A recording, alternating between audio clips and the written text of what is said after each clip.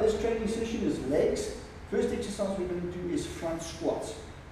Using your Olympic bar, you can just use the bar, you can add the weight on according to what strength you are, what strength you've got. Do the front squat, gravity up. Holding it there, elbows up for me. Get the legs fairly wide, a little bit past shoulder width. You're going down, push the bum out, keeping the chin up, and pushing up. That's the movement. Are you going to do 30 second hold? So you're going to hold for 30 seconds. This is a tough one. After you've done your 30 seconds, you're going to do your 30 reps, pushing down all the way to the top. Always make sure that your chest is out, chin up, focus on something higher up.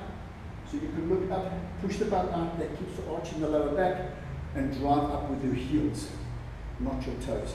The power is coming from the back.